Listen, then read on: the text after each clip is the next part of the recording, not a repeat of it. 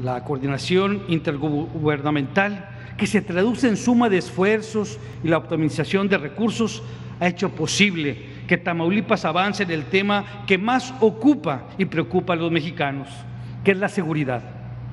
No lo decimos nosotros.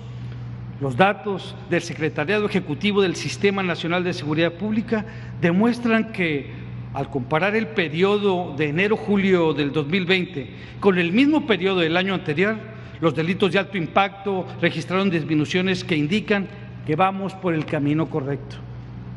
Hago un reconocimiento al pueblo de Tamaulipas por su compromiso y contribución a la construcción de la paz y prosperidad que tanto anhelamos.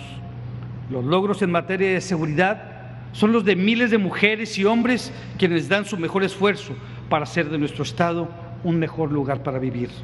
A ustedes, ciudadanos de Tamaulipas, muchas gracias. Mi reconocimiento y gratitud eterna. Las personas y su patrimonio, lo cual nos permitirá generar las condiciones. Prueba de ello son los importantes proyectos de infraestructura que tenemos, por número de nuevos empleos generados formales, a 75 mil millones de pesos.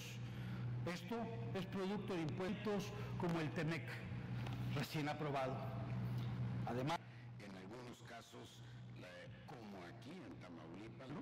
es uno de los grandes ejes y aciertos por el señor gobernador e invariablemente por el secretario de gobierno. En el total de delitos, pues de luego ocupa el lugar número 21. Vamos a verlos, pues de luego ocupa el lugar número 21. Vamos a verlos uno por uno.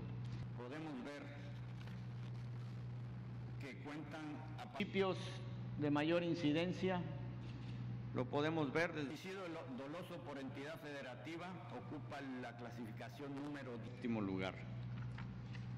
En lo que se refiere a delitos, los recursos federales de seguridad, aquí los podemos ver la, los números en cada lugar. La que sigue, por favor.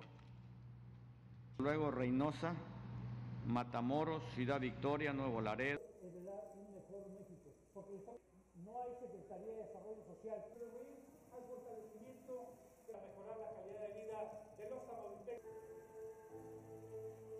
Muy bonito, prácticamente voltean a ver a este. Están, que se llevaron a cabo, digamos, son unas réplicas, estamos en uno de esos